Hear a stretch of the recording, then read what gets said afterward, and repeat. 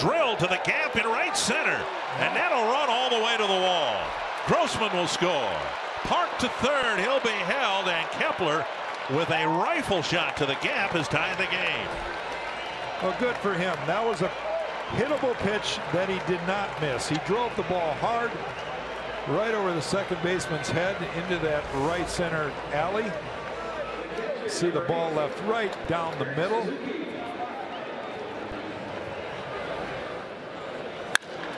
And Kepler throws it, puts a good swing on that ball. Park, not the speediest guy, so